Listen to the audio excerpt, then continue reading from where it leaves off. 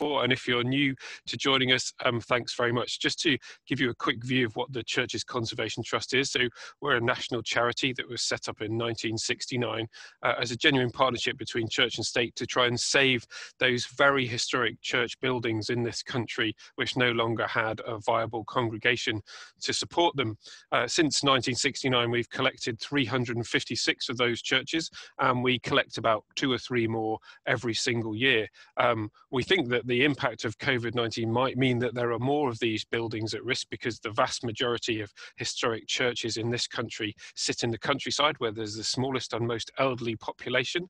So we're very much here to protect those buildings and make sure that communities can use and love them well into the future the impact on us of COVID was that the saddest thing was we had to close the doors of our churches. We pride ourselves on having them open and that people can go in and visit them wherever they are in the country. And so it was quite a quite a were a tear to our eye really to close the doors and so we spent the rest of the time then trying to get them open again and that was quite a difficult thing because we had to undertake lots of health and safety checks etc etc and we weren't allowed to undertake any events as well which is a key part of our fundraising strategy so as george said we think there's about a 500,000 pound gap in our income this year and we've been having to find that save money and to use our reserves as well which are mostly aimed at trying to repair historic church buildings. So any support you can give us is is really gratefully received. Um, George has given you the opportunities to donate, but join us. Do join in. You can subscribe to our free newsletter. You can bump, become a member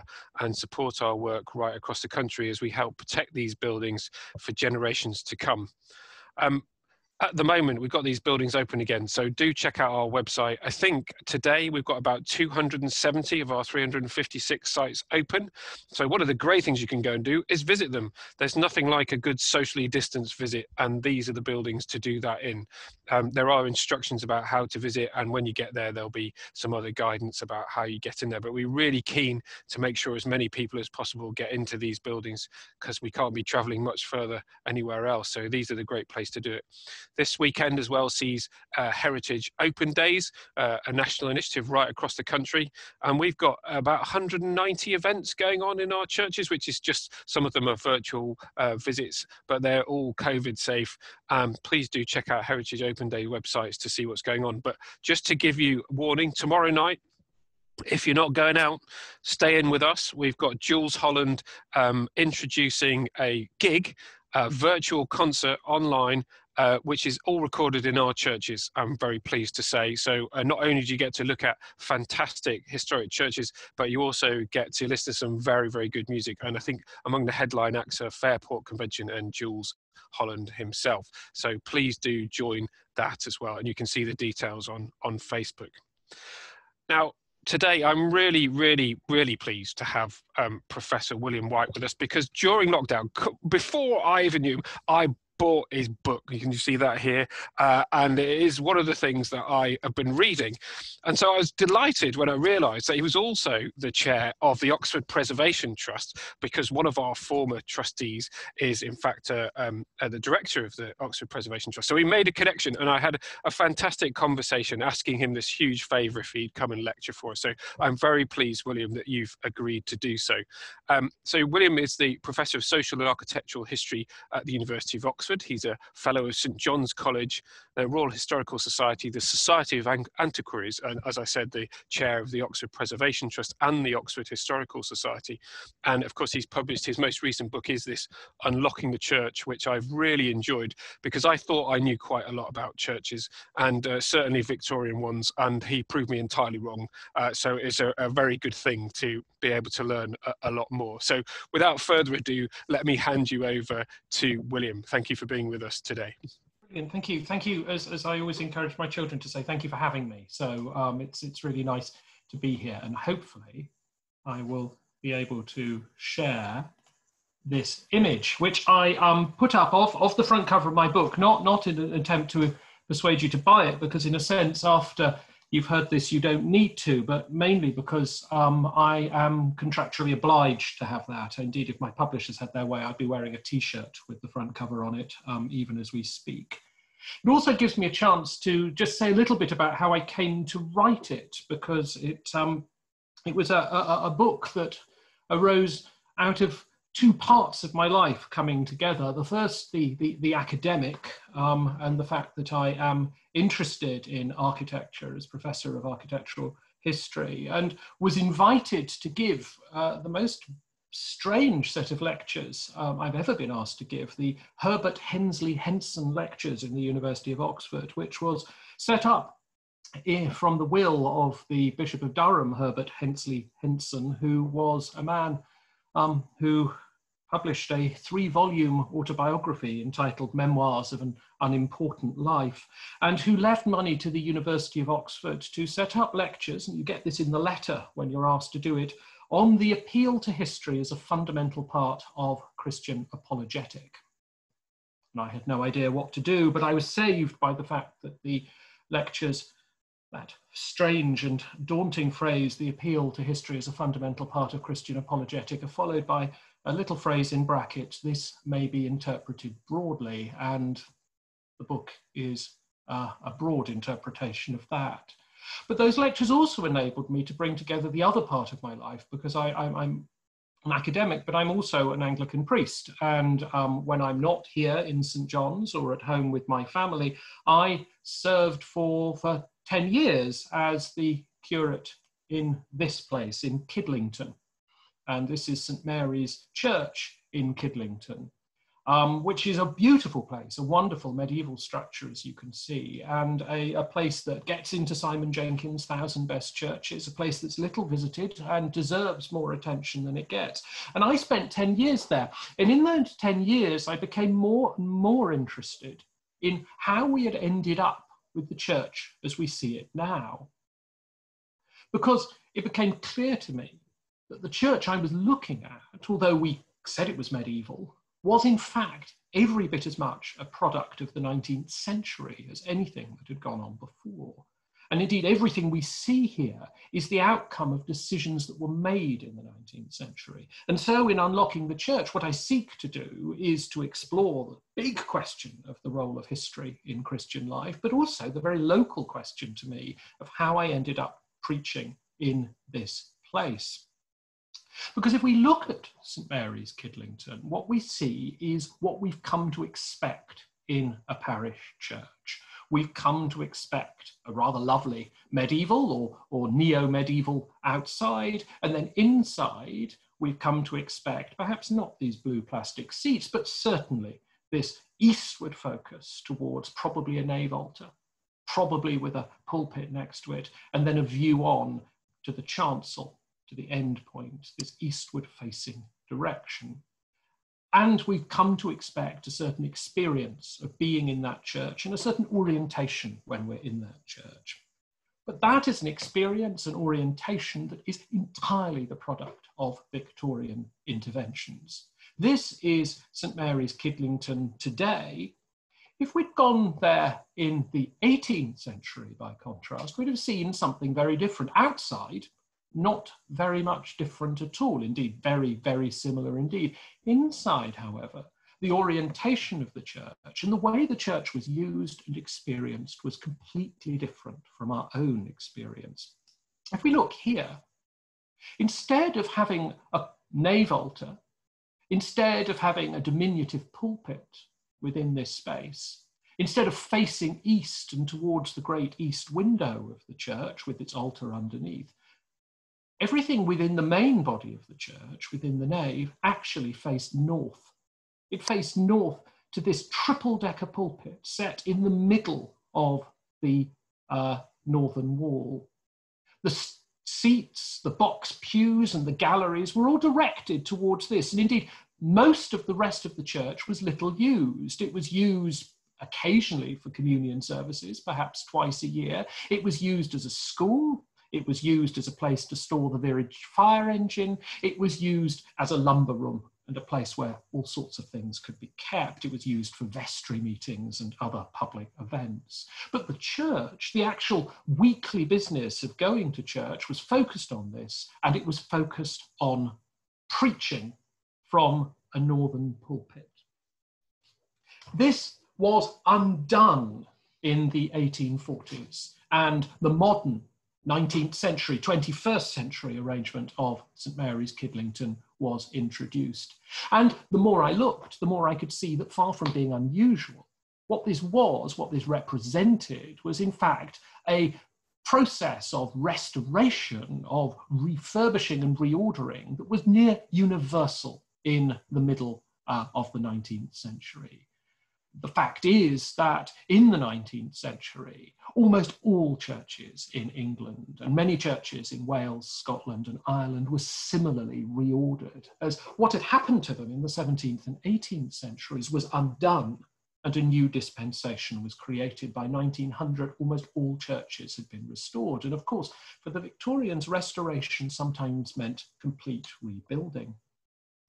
And as we know, the 19th century didn't just see this tremendous effort of restoration, it also saw a huge effort of church building. Indeed, the 19th century is the single greatest period of church building in this country's history.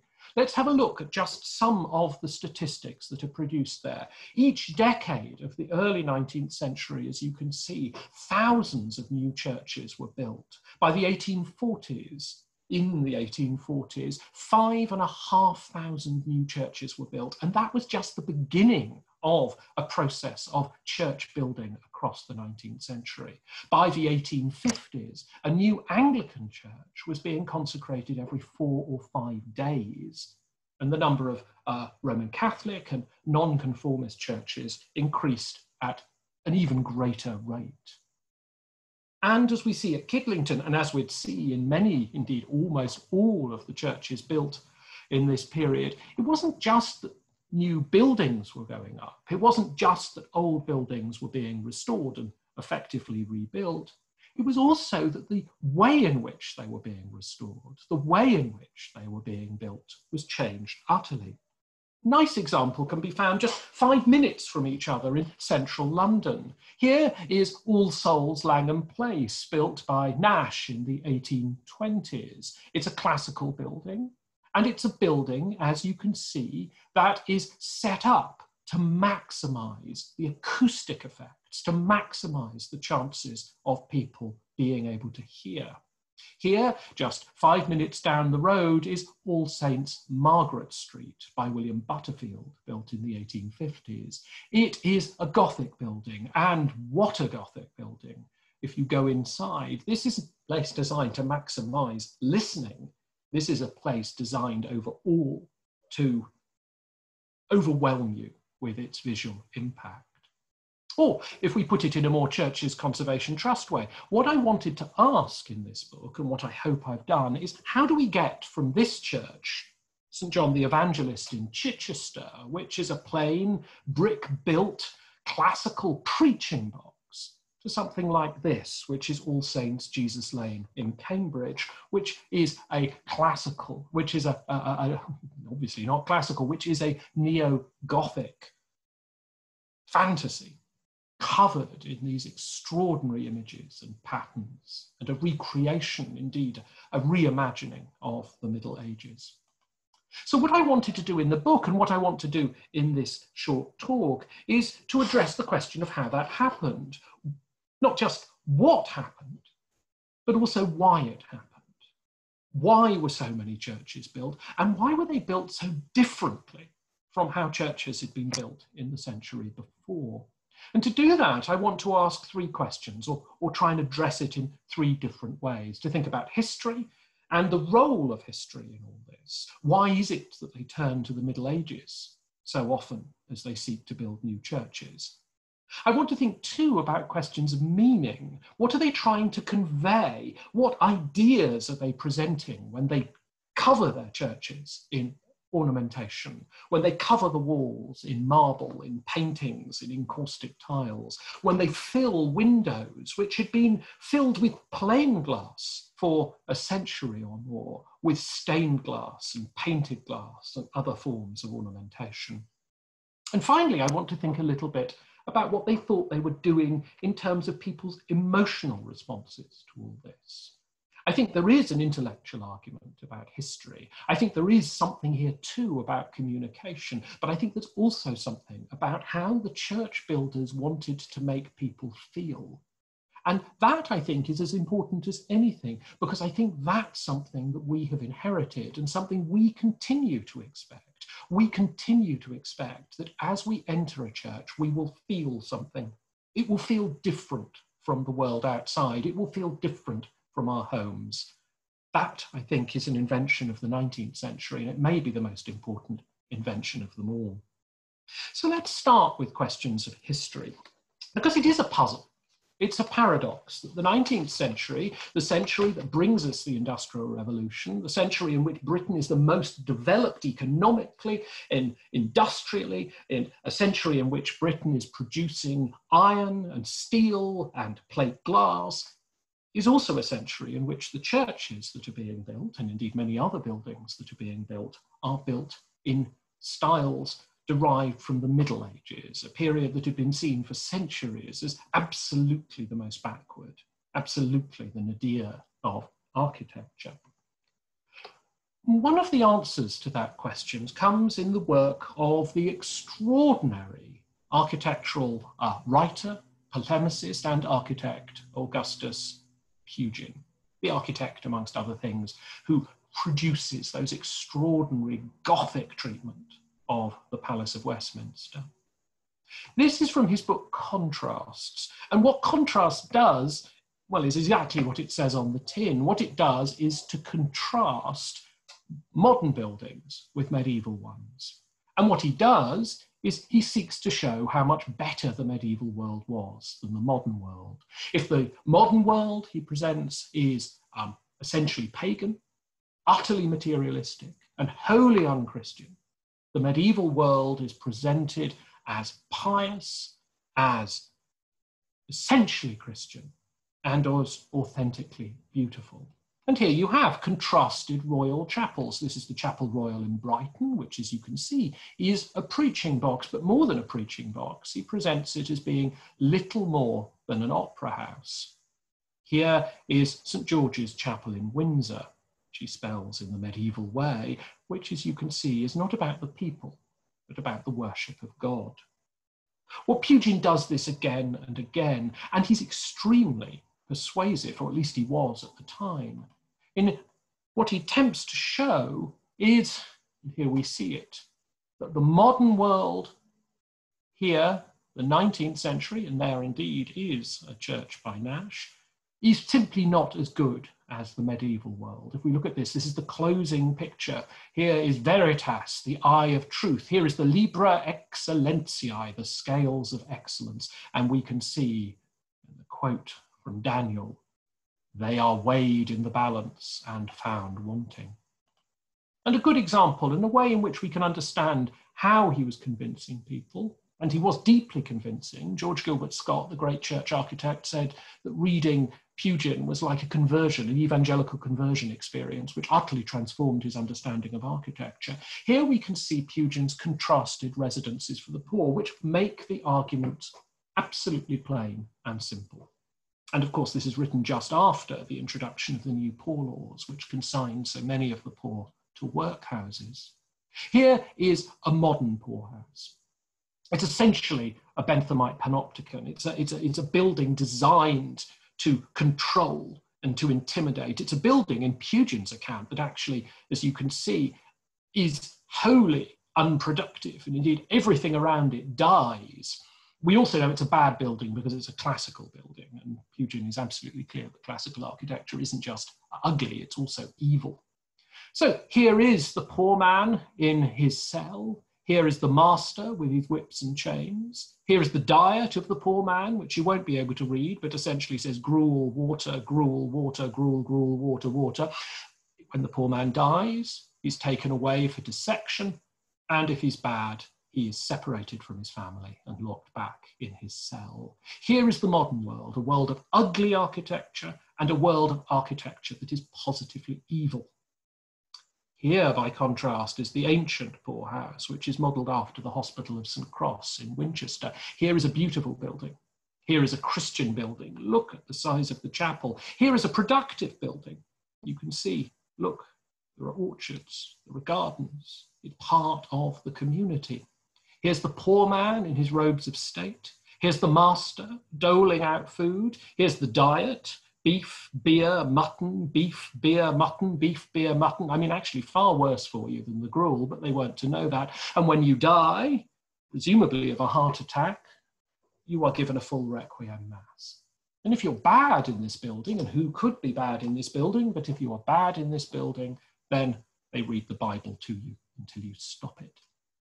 Pugin's account was hugely convincing to people who were frightened by the developments of the modern world.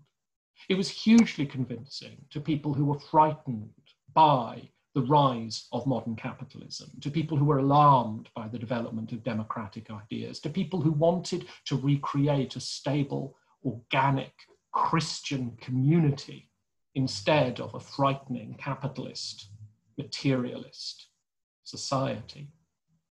And at the heart of this all was, of course, the idea that it was the church who would solve it. Here is Pugin's vision of the England that could be, an England which you see is entirely made up of churches that he has designed. Well, that was one account of the reason why the Gothic revival was developed. It was developed because they drew upon history in order to find a way to build in the modern world. But there's more to it than that. It wasn't just the idea that they could find hope in the past that drove the sense that the, um, that the Gothic revival was appropriate and that the old classical dispensation for church building was inappropriate, not least because it seemed unchristian. There was also a sense, a very strong sense amongst Pugin and his followers and other people who were not necessarily linked to Pugin. that what was also needed was a set of churches which were going to convey Christian truths to people. Indeed, one of the biggest changes, and it's a neglected change, it seems to me, one of the biggest changes of the uh, 19th century was precisely the way in which people didn't just start, as Pugin did, to conflate ethics and aesthetics, to think that beautiful things were also good things. The other change here that I want to talk about is the way in which they started to conflate or confuse buildings and books, to think of buildings as being like texts, as being capable of conveying meaning. And we find another example of that in the 1830s, in this little church just down the road from me in the Oxfordshire, in the Oxford suburb of Littlemore. This is St Mary and St Nicholas Littlemore, which was built for the then young, then Anglican, uh, then Oxford academic John Henry Newman, later, of course, to convert famously, notoriously to Roman Catholicism and to end his life as a cardinal. He's now a saint. Well, Newman was determined to build this little church for the small community of Littlemore. And when it was opened in 1836, he delivered a sermon, a sermon that must have gone on more than an hour, to that little community, explaining why he built this church and explaining what this church was for. And what he said almost at the beginning of that sermon and went on to elaborate throughout the rest of it was really very significant. And the first time anyone had done this for centuries, what he said was, I want you to look on this building less as a building than as a text, a sacred text full of um, uh, powerful messages about Christian ideas and theology. And he said, once I've finished this sermon, you will be able to look on this church and read its meanings. And once you've read those meanings, you will understand the Christian faith that it's here to stand for. And so what he said was take a look at this church. What you'll notice is that there is only one door. That door symbolizes Christ, who is the only way to salvation. As you come in through the door, here it is, you will see a cross over the altar. That cross symbolizes the way to salvation, which is through the atonement, through the crucifixion. He says, Thus, at the moment you stand at the threshold of this church, you see the two fundamental truths of Christian faith. On the one hand, the incarnation, the embodiment of God in Christ. On the other hand, you see the crucifixion, the atonement, Christ's saving death for the whole of humanity. And he goes on. He says, if you look at the east end, you will see there are three windows. Those three windows symbolize the Trinity. If you look underneath them, there are seven arches. Those seven arches, he doesn't say, almost certainly symbolize the seven sacraments, but he does say that they symbolize the 164th verse of the 119th Psalm. Obviously, don't need to tell you, but seven times a day I will praise thee. And so what he does is to go through the whole of the church, which you'll notice is facing eastward, facing the altar. What he does is to say, this is a Christian text. It's the first time anyone has made that claim for centuries. I spent months reading consecration sermons of churches from the middle of the 18th century to the middle of the 19th century, just so you don't have to. And what I found was that nobody made this argument until Newman did. And then, as soon as Newman did it, other people started to say something similar. And indeed, the ideas get broadcast more widely. Ten years later, after Newman had left the Church of England, and indeed 10 years after his church in Littlemore had been consecrated, his former friend and ally in the Oxford movement, the great Tractarian John Keble, built his own church at Hursley in Hampshire, and here it is. And when it was opened, Keble gave a similar account of it.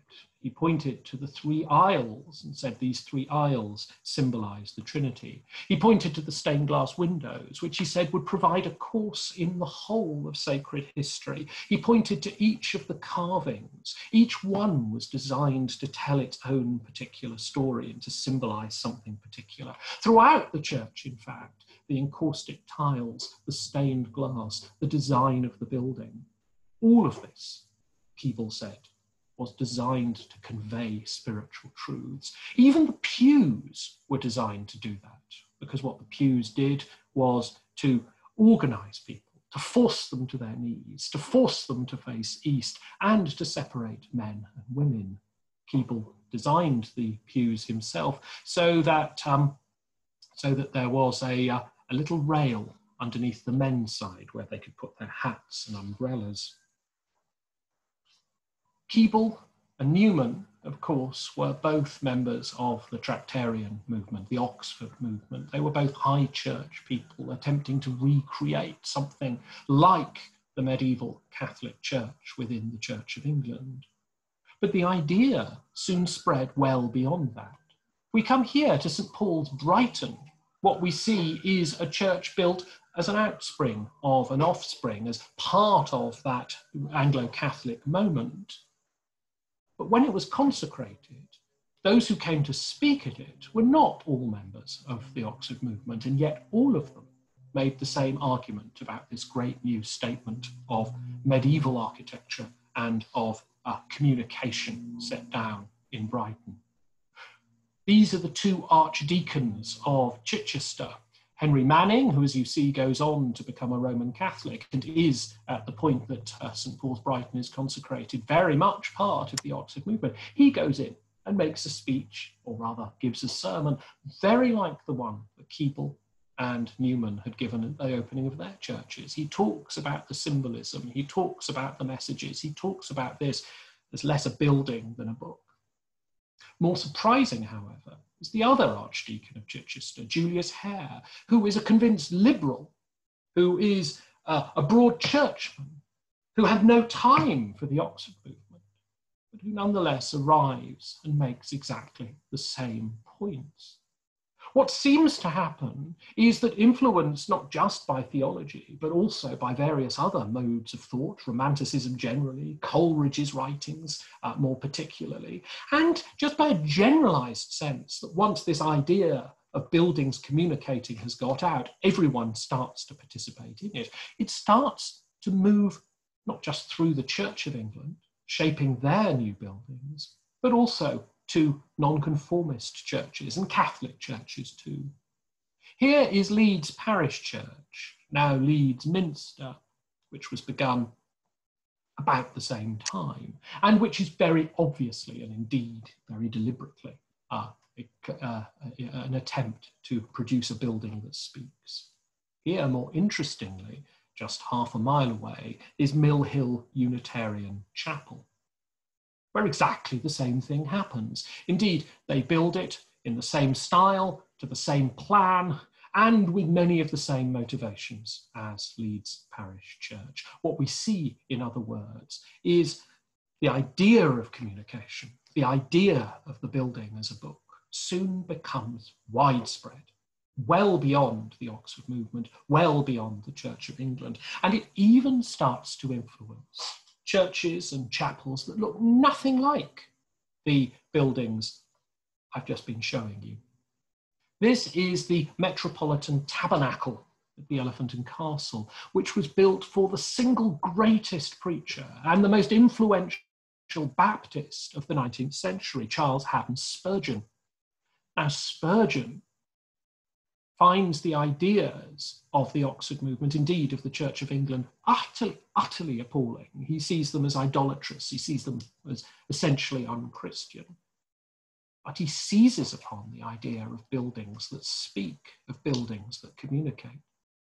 When he's asked, what should a Baptist chapel look like? Spurgeon says, well, there are two biblical languages. There is Hebrew, the Hebrew of the Old Testament, and there is Greek, the Greek of the New. Baptist buildings, Spurgeon says, should be Greek because they will then speak the same language as the New Testament. And so the Metropolitan Tabernacle, which looks utterly unlike any of the other buildings I've been showing you, is nonetheless inspired by a similar sense that this is a building that speaks. It just speaks a different language. The idea that buildings communicate is entirely the same. But buildings didn't just communicate in this new dispensation. Buildings were also meant to do things to you. They were also meant to make you feel something. They were meant to be active agents, in a sense. This was a tremendous change from the 18th century dispensation, which, as I say, had been one in which you went to church to listen, not to look, and in which you went to church a church that was just a box for preaching in, a church that didn't mean anything, a church that wasn't meant to do anything. 19th century, by contrast, we get a strong sense that these buildings are not just saying things, they are doing things too.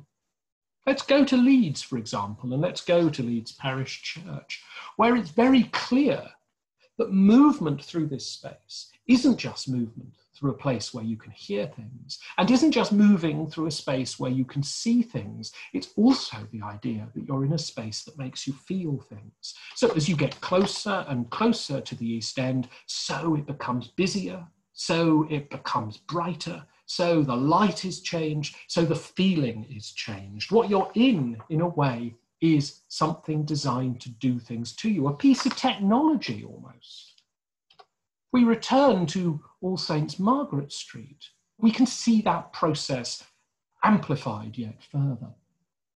Very clearly the case if we look at All Saints Margaret Street, we're looking at a building that's designed to communicate. There's not a bit of this doesn't have some symbolic significance, and indeed its architect, William Butterfield, talked about architecture as a work of theology as much as a work of construction.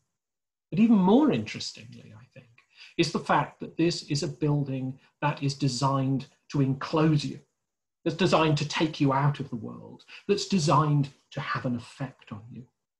Butterfield does it through the design, he does it through the ornamentation, he does it through the acoustic properties, because all these churches have a much greater um, uh, reverberation, a much greater um, echo than anything that had built before. But he also does it by excluding the world from this building As you can see, once you're in it, you can't get out. He does the same at the building just next to me, at Keble College Chapel, where again, Here you have a building which could have had great windows, which could have had great vistas and views out. And if it had been an 18th century chapel, it certainly would have done. But here we are enclosed. Indeed, the only break in the wall is something Butterfield didn't want and wasn't involved in, which is the addition of this little door that leads into the chapel where Holman Hunt's Light of the World is kept. The idea is, Pugin writes about it, Newman writes about it, and there's a whole literature of terrible, terrible Tractarian novels and Victorian verse about it. But you should enter this place and feel that you have encountered the sublime, feel really that you've encountered the divine. So, what are the consequences of this? What does it mean to have buildings that draw upon history, that are intended to communicate? And which are meant to act upon those who enter them.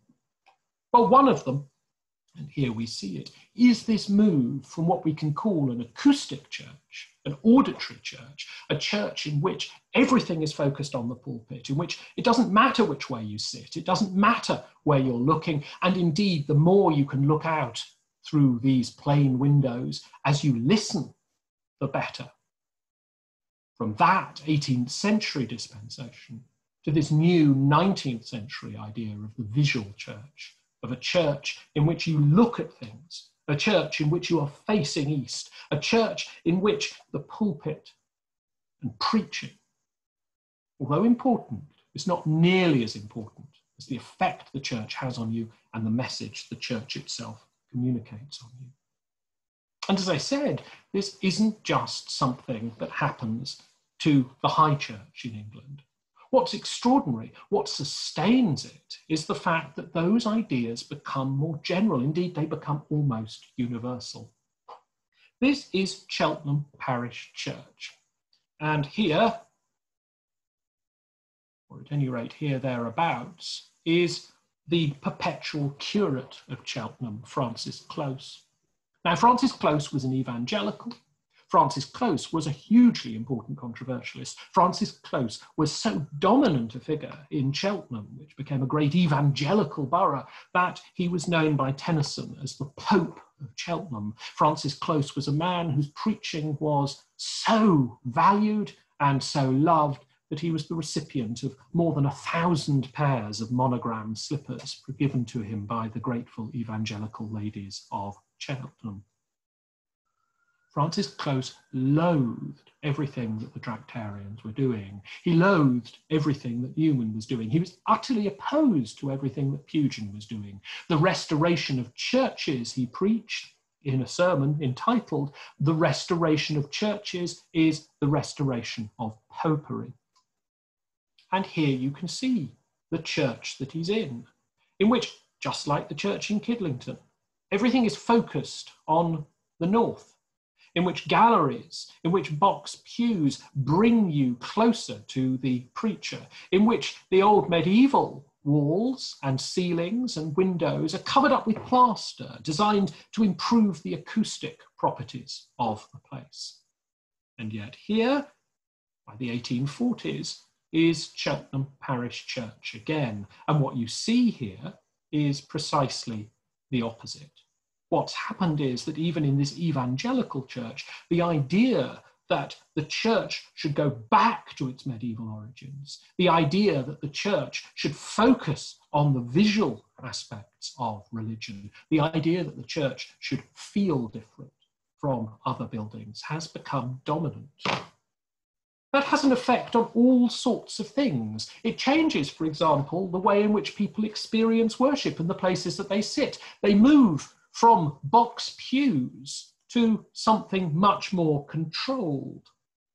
It has an effect on the experience outside the church as people start to think about the churchyard as being an extension of the church, not just somewhere that's locked, not just somewhere where you can pasture animals, but itself as a holy space. The 19th century sees a forest, not just of these new tombs and memorials, but also a forest of lich gates designed to signify the way in which you move from the ordinary everyday life into something sacred. And they go beyond that. They go beyond that with processions that carry that idea, which resacralize the space around the churches and between the churches. It's a process that's begun in places like Littlemore in the 1830s, and a process that then goes on to reshape Littlemore, which after Newman's time acquires a lychgate, a school, processions, a tower, and much more besides. It's a process that we can see reshaping many not all, but almost all of the churches in the care of the churches Conservation Trusts. Here's All Saints Harewood, All Souls Haley Hill, St Edmund Falinge, uh, All Souls in Cambridge. Here are examples of a more general trend, a trend in which churches aren't just refurbished, restored, rebuilt, and built anew, but a process too in which the church comes to be understood in different ways. It comes to be understood as a vehicle of theology, and it comes to be understood as an engine of emotion. Those changes were utterly transformative in the 19th century, and they shape our experience of the church today. Thank you. Thank you so, so much, William. That was a, phenomenally fantastic lecture. And there's been loads of really interesting comments and questions coming in already. So we're shortly about to be going into question time. So everyone, um, please do um, use that comment box and do um, put any of your questions in there and we'll um, put those um, to Professor William now. Um, I was really struck um, when you sort of showed about some of the CCT, CCT churches, so All Saints Cambridge. Um, we've put up, for those of you um, joining the lecture, we've posted some links to find out more about those churches in our collection, which will take you to our website. And um, you showed just at the end there, um, Halifax at Haley Hill, mm. which was, I think it was Gilbert Scott when he said it, it was probably his it was his favorite church. It was his triumph that he fought, um, that he had built. So um, yeah, we've got some phenomenally um, important pieces of heritage in our care. Um, so we're going to questions now. Um, I think the first one to kick it off is, do you think there's a connection between new churches that were built in the Gothic revival style um, and, you know, them being located in very poor economic areas to serve poor people? Oh, that is an interesting question. I mean, there are there are lots of examples of the rich building um, uh, uh, um, uh, Gothic revival churches um, too, um, but but that's it's a good point, and I think there are two answers to that. The first is that um, initially in the 1820s, 1810s and 1820s, when the church commissioners start building these churches. And one of the interesting things I didn't talk about is the way in which um, the state is underwriting the cost of building some of these in the 1810s, 20s, and 30s, indeed into the 40s. The church commissioners initially think of Gothic as being um, cheaper than classical architecture. And they think of it as being cheaper because they think it isn't really an architectural style at all. They think, well, with classical architecture, you've got to obey the rules, whereas Gothic can pretty much do what you like. So it's um, it allows you to do do whatever you want. Um, that changes, and that's I think where the point about um, why they might be choosing to build these churches in poorer areas and and in new new locations in this Gothic style um, uh, is so important. What they want to do is they want, and again, this is an idea of communication. This is something Simon Bradley, the editor of the Pevsner series, has, has talked about, which is what they want to do is to communicate very clearly to people that they suspect don't know very much about the church that this is a church. And Gothic is chosen not least because it communicates strongly the purposes of the building that they're building. It communicates very simply. And that's allied to arguments that are made um, within the Church of England in particular that they can emphasize the fact that the Church of England is the church, capital T, capital C. It's the church with continuity going back to the earliest Christians. And they do that in order to say that the nonconformists and the Catholics are sort of Johnny come latelys who aren't, aren't really the church. And if we think back to Leeds, the example I showed you, it's very clear that's what's happening in Leeds, where the, the vicar um, Hook is um, very keen to claw back the um, population of Leeds that he fears have all become dissenters by building something which is a, just a bigger version of the existing church of, a, of an existing church. Um, but it's also clear that one of the reasons why the Unitarians at Mill Hill choose the same style is that they want to make the point that actually they're the church, that they're the real ones. And so there's an interesting sense in which First of all, we have Gothic because it's cheap and it's not really proper. Then we have Gothic because it communicates stuff. And then we have a fight over who really owns Gothic and what sort of Gothic you're going to have. And that links on to all sorts of other interesting questions about the way in which this is kind of competitive church building. But I can, I can come to that later if we have time. Brilliant. Oh, thank you so much. That was a really fascinating um, answer there. Um, and I think slightly tied into that is um, a second question that's come in, so, you know, where someone's asked, perhaps the Gothic revival in church architecture was a reaction to the grimness of in the Industrial Revol Revolution. Um, like in art, the pre-Raphaelites strove to return to pure medieval art. So I wonder if it's, in some ways, it's trying to give people a sense of hope.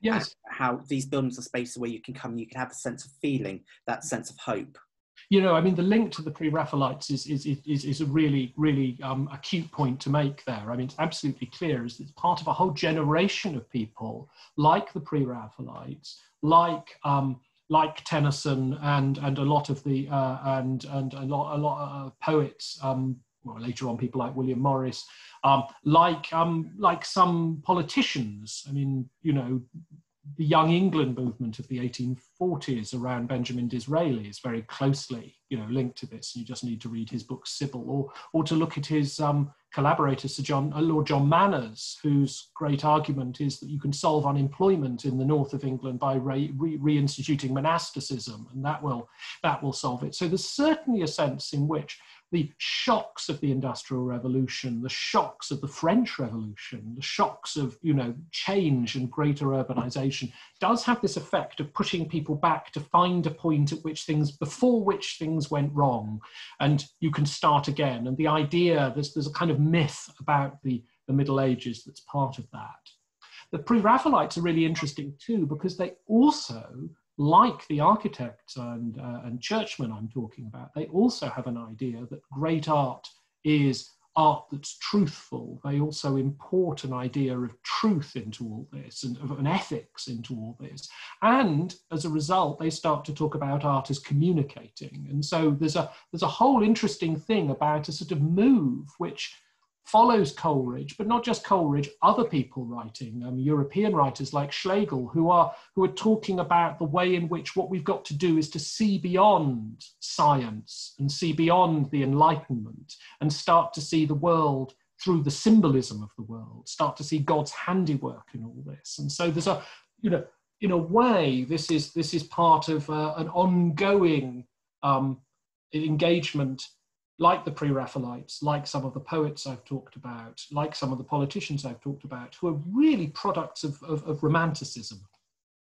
Thank you. Um, uh, we get lots of questions coming in, so I'm going to try and blitz through a few more of these. But um, uh, this is quite an interesting one, actually, because um, I've not thought about it in this way. But would you compare the acoustic style of church arrangements, arrangements to the layout of a synagogue? Oh no, that's very interesting. Yeah, no, no. I mean, what, what's, what's, what's, what, what's so I mean, in a sense, in a sense, the 18th century church is is a bit more like a, a synagogue with a kind of bimah in the middle, and and, and people and people uh, listening to. Yeah, I mean, on the one hand, the the reading of the of the Torah, on the other hand, the singing of the cantor. So, in some senses, in some senses, it is. And I mean, you can link this to a longer standing question about church design, which is is this more like a synagogue or more like a temple? And you know that's that's a whole theological argument that we we, we could have there. What's interesting in the 19th century, of course, um, is as the as the Jewish community in England um, becomes wealthier, as it seeks to become more anglicized, um, is the way in which synagogue design starts to absorb some of these these ideas. I mean, just in the same way that rabbis start to wear dog collars um, so you find synagogues starting to be built in not, all, not often um, pure Gothic styles, but often what's called a sort of Saracenic Gothic or a Moorish Gothic. And again, they start to they start to look more and more like the church buildings of the period. Thank you. And um, we're, we're, jumping into Pugin here because we've had a couple of questions into Pugin. So, why do you think Pugin chose to use sort of the medieval style um, of Gothic architecture and instead of creating his own brand new style, do you think? That is a good question. I think there's a general answer to that, which is that there is a, a, a great deal of suspicion amongst architects as a whole of the idea that a new style is possible. I think there's a, there's a, there's a, there's a strong sense that the alternative to using older styles is something that isn't architecture at all, um, which is just engineering. And that's, that's a battle that goes on throughout the 19th and into the 20th centuries. Pugin's particular fondness of the Middle Ages is very strongly linked to his fondness for the, I mean, his, his conversion to the Roman Catholic Church. It's very clear that he has a sense that Englishness and Christianity are bound up in the Middle Ages. And he comes to believe that the Gothic is, as a result, and he always calls it this, is, is, is the Christian style. And he comes to think of Gothic as being, um, you know, not just a not just an architecture, but a kind of ethic. So when he marries his third wife, both his previous wives died, he says, At last I have got myself a good Gothic woman. And that's the sort of highest praise he can possibly bestow on her, which is that she's not just beautiful, but she's also moral and she's also Catholic. Thank you. I think that's quite an interesting um, description to describe your your wife as a, a, a Gothic, real Gothic. My woman. wife wouldn't appreciate it, but you know. um, do you think uh, we've had lots of questions coming? in? So, um, was not the rise of English Palladianism um, in its reaction against the excesses of the Baroque concerned with many of the same pangs of the Gothic revival over a century later? If so, why then did the latter see so much more success in capturing the nation's attention? Well, that's a very good question. I mean, it's certainly the case. I mean, I think that's absolutely right. Is that there is a there is a, a strong sense that Palladian architecture is seen, and I mean, this is something Tim Mowl has written about, is seen as being English and manly and Protestant because it's simple and it's rule bound, but it's also free in some ways. Um, why didn't it? Why didn't it capture the um, nation's attention? Well, I mean, in truth, it did, and in truth, um, there is a huge amount of, of, of, Palladian church building, and still more of, of, of Palladian um, of church restoration and refurbishment in the 18th century, which is turning them into um, Palladian or, or, at least more classical buildings. What happens, and this is the really interesting thing, is that all of that is, is, is both unpicked by the Victorians, in which they rip out all this stuff. So I talked about what was happening in Kidlington and what happened in, in Cheltenham. I mean, those experiences of just going in and ripping out everything the 18th century had done was, was fairly universal. Um, that's important. What, what is interesting is the fact that the Victorian church dispensation didn't go away, is that, that the, the notion that the church should look like this, the notion that the church should, um, should, should feel like this, um, has not gone away. Um, and I mean, what's, what's striking is that we're going through a period which looks like an undoing of that we're going through a period in which a lot of churches are having pews removed, a lot of churches are having kitchens installed, a lot of churches are being domesticated in ways that go back in some ways to the 18th century church dispensation. What's interesting about that is the way in which those interventions are defended in terms that would be entirely recognizable to the Victorians, but would have made no sense at all to the 18th century. It's defended as communicating something, it's commended, it's commended as making you feel in some way. So the, the, the Victorians, um, you know, on, well, it depends on your perspective, either have a lot to answer for or the Victorians uh, have bequeathed us a particular understanding, which makes going back to the 18th century dispensation quite hard for us to do imaginatively. Thank you. I think that's a really interesting um, point to mention there about, you know, how, you know, and certainly as a conservation charity, um, you know, rolling back um, so many years and sort of there are certain questions that are posed um, with conservation ethics in mind when we want to uh, do work like that. Um, we've got time, I think, for maybe a, one more question. Um, and I think this is quite an interesting one to finish on. Um, someone's asked for your opinion um, on the local or regional factors in the development of the ideas you've mentioned in your talk today. Um, for example, the influence of the Kebles in the Cotswolds, or Bishop Hamilton in Sarum, or the Diocesan architects like G.E. Street in Oxford. No, that's a really, really good point. I mean, what this is about, and, and, and what I try to do in the book is to get away from sort of big things like romanticism and sort of general movements like that, and to think very precisely uh, about pre- exactly that, exactly the way in which particular individuals are starting to do this and particular individuals are making decisions. There's a very useful book by George Herring on Tractarianism in the parishes, which traces these connections, which shows how people's experiences in particular locations carry them out into other places. But, but the examples we've just heard are important too, because there are in each diocese um, there are diocesan building societies who are desperate to learn how to build churches. Each diocese has its own surveyor or architect, and G.E. Street is a really good example of that, who is who's, who's learning from this, who's part of this, and who tends to present a, a solution to it. In, in, the Diocese of Oxford, in particular, where Street is based, um, it's also true to say that the Bishop, Samuel Wilberforce, is, is going through and, and refusing permission for churches that don't conform to this model that we're talking about. So what you're getting is absolutely, you're getting these general trends. But what's most interesting to me is the way in which those trends are being used by individuals and by groups of people in their particular localities to achieve similar effects. Brilliant. So it's a really good question. And, you know, one can look diocese to diocese, parish to parish, the way in which individuals are making these decisions, which also helps explain why some churches escape this. There are, there are a few churches that just don't. And, and if you look, it's because either the parish is too poor or because there's somebody who sets his or her face against this. And as a result, it doesn't happen. Brilliant. Well, thank you so much for answering those questions. Thank you, everyone, for those really interesting questions. No, they were brilliant. Thank you. I'm, I'm sorry we haven't, haven't, had time to answer all of them, but do keep them coming in, and we'll do our best to get um, written responses to those questions. So do keep commenting away.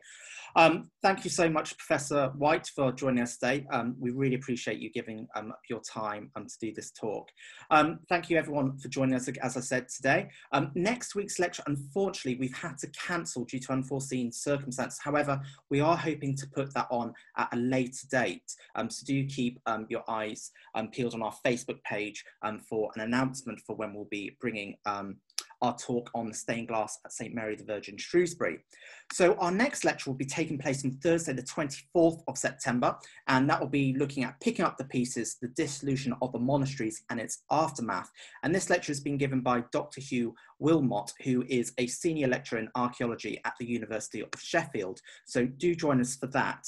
Um, as we said at the start, if you enjoy these free lectures, please do consider supporting our vital work in caring for historic churches throughout England. As I said, you can donate £3 by texting 70 double, sorry, by texting CCT to seven zero double three one to give gift £3. You can make a donation on our website or you can take advantage of our special membership offer. Um, there are details in the bio. Along with details in the bio, there's also ways that you can buy um, Professor Whyte's book that he's shown and then the lecture. So please do have a look at that. But if you've got any questions um, or any ideas for lecture topics, please do um, send us a direct message. And if this is your first time attending one of the lectures, do comment below as we'd love to say hello and um, get your feedback. But thank you so much for joining us, everyone. And we look forward to seeing you shortly. Thank you.